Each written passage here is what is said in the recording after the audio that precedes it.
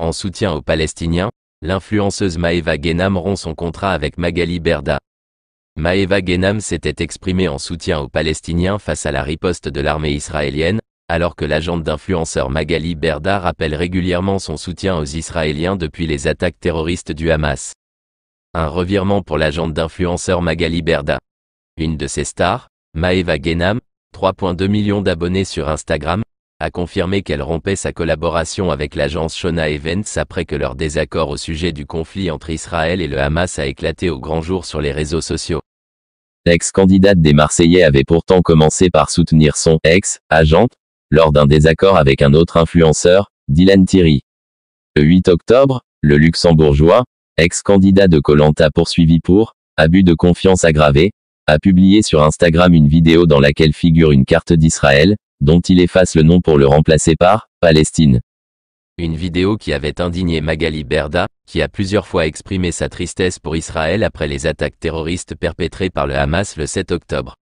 On ne peut pas se servir de ce conflit pour faire du buzz et des followers. Il y a des sujets sur lesquels il faut pas rigoler, relate le Parisien. Dans une vidéo YouTube, Maeva Genam a d'abord pris le parti de son agente qui a selon elle, besoin de soutien, mais elle ne reprend pas entièrement ses positions sur les affrontements au Proche-Orient. Elle règne sur le business des influenceurs, qui est Magali Berda. Elle règne sur le business des influenceurs, qui est Magali Berda. Les miens passent avant un contrat, le 14 octobre, Maeva Genam soutient plus clairement les Palestiniens, raconte le Parisien. Je suis contre les guerres, contre tout ce qui se passe, ce qui est arrivé à Israël, il y a eu des morts, je suis pas du tout pour, mais s'il vous plaît, venez on se parle français. On en parle de tous les morts qu'il y a en Palestine.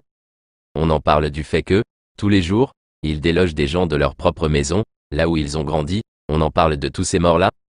Elle tient par la suite des propos plus radicaux, affirmant qu'Israël a prévu les attentats du Hamas. Je pense qu'ils, les Israéliens, NDLR, étaient au courant qu'il y allait avoir cette attaque et ils ont laissé faire pour qu'après, qu'il y ait des représailles, et pour qu'il y ait encore plus de terrain, et qu'il tue encore plus les Palestiniens, des théories non argumentées, sans aucun élément de preuve. Après ces déclarations, Maeva Genam affirme avoir été menacée de mort à plusieurs reprises sur les réseaux sociaux, et vouloir porter plainte. Une plainte qui est actuellement en cours de rédaction, car complexe, déclare son avocat aux Parisiens. La rupture a finalement été consommée quelques jours plus tard. Dans une story Instagram du dimanche 22 octobre, Maeva Genam explique que, ses principes, ses engagements passent au-dessus d'un contrat, et que, elle, Magali Berda, défend, SIC, les siens et c'est tout à son honneur, et les miens passent, SIC, avant un contrat. Décision pas facile, puis dans une série de stories sur Instagram et Snapchat le 25 octobre, l'influenceuse confirme qu'elle a rompu sa collaboration avec Magali Berda. Une décision qui n'a pas été facile pour moi, détaille-t-elle, ajoutant que pour moi c'était comme si je la trahissais. Mes raisons, j'ai pas envie de les donner, parce que je suis pas une ingrate, je veux pas l'enfoncer, c'est assez difficile pour elle, Magali Berda. Elle les connaît, c'est tout ce qui compte, explique Maeva Genam.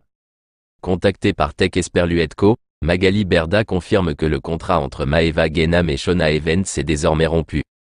Maeva Genam n'est pas la seule influenceuse à quitter le navire Shona Events.